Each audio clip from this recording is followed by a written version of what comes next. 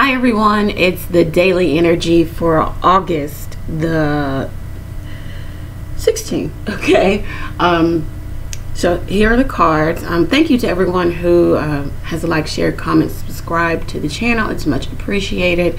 Uh, make sure you are commenting today at 2 p.m. Eastern. I'm going to go live and announce the winners of the raffle. Okay, all right. So we have the High Priestess we have the Three of Wands, the Five of Wands, the Two of Wands, um, the Seven of Cups.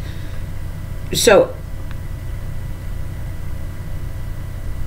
secret plans, secret plans of moving forward, putting behind an old situation, an old partnership, an old business relationship, an old job.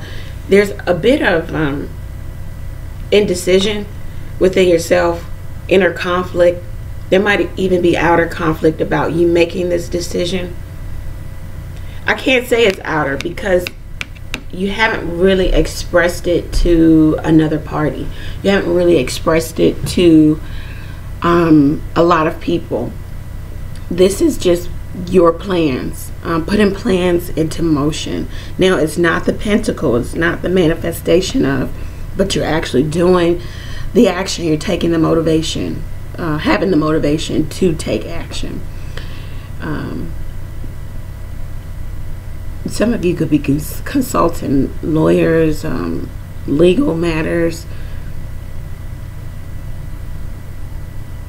Some of you are listening to your intuition in regards to what you can build and what you can grow with someone else or some other situation it's nothing but action here. We have three wands cards, then the two of wands. It's you've made your mind up about in, in which direction you want to, to go. Um, it's a complete alteration of of your world as you know it. Um, some of you may even be okay. I'll name all the things. You may be an unfaithful spouse, or you may be dealing with an unfaithful spouse. You may have illusions, dreams, daydreams um, of what could be, what's to come in another situation, maybe with someone else. Um, broken promises are here. And you're thinking about that. Some of you have choices to make in regards to the actions you're taking.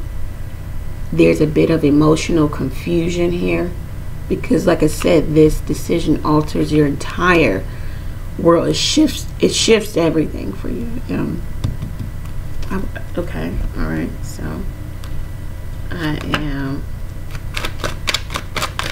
let's pull one more card. Just to see an outcome.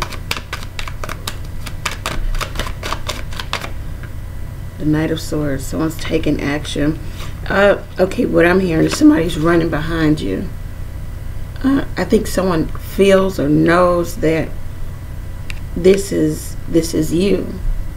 This and and they want to come to you and give their truth and their clarity about whatever is going on. This can be confrontation. Wow. The bottom of the deck, the Ace of Cups. I think you've really fallen in love with the idea of standing up for yourself, having what whatever it is you want for yourself. You may even have actual new love or new friendship elsewhere. Um, yeah. All right, so that's the daily energy. I hope that this helps someone out. All of my information is below if you need to get a personal reading with me. Uh, send an email. Uh, go over to my website. Find me on InstantGo. Ask a question or two there. Make sure you're saying your name in, in the first initial contact with InstantGo. If I have to ask that, then you know InstantGo will charge you by by each message. So just to be a good steward of your money and your in my time and you know whatever, just put the information there firstly.